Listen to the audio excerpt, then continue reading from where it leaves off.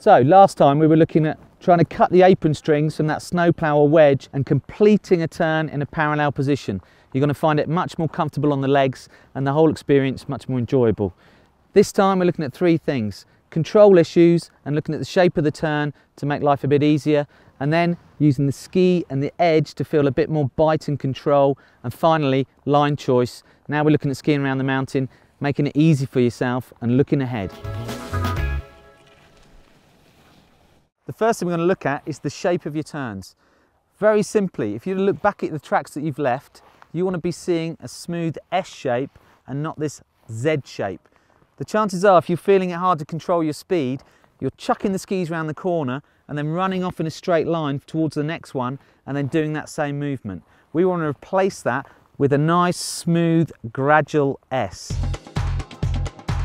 If you watch here, the turn is rushed. I'm doing the whole turn in one very fast erratic movement, then I pick up speed between my turns. What we want to achieve is a round link turn which keeps my speed constant and in control. You're always going to speed up when you start the turn and point the skis down the hill. You can't change that. But what you can change is how fast you're going before you do that and feel that you're going to push a nice gradual brake and then start that next turn feeling a lot calmer, less stress and happier about life. So I'm going to start to slide, but from here I'm gradually turning up the hill. Now I feel control, I can start my next turn and start turning up that hill in the next way. Let's try it the other way. I'm sliding in nice and smooth and then turning uphill nice and gently. Now I feel control, I can go into that next turn and start turning uphill and feeling the brake coming on smooth. Make sure you're happy with your speed before you start your turn.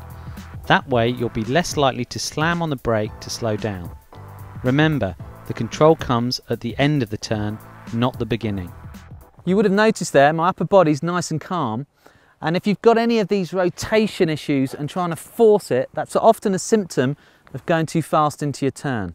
Remember, you're always going to speed up when you start the turn, but if you control it beforehand, the chances are you'll be much smoother.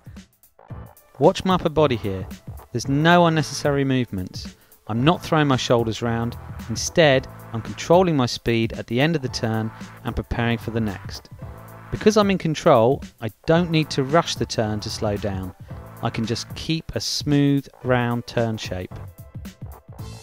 We're going to break the turn down into two. Firstly, point them down the hill, let them come round, and then we're going to start to turn gradually uphill. Make it a smooth break, not a sharp one. Have a watch. Part 1, I point the skis downhill. Part 2, I turn the skis uphill. Prepare for the turn, control your speed. Prepare for the turn, control your speed.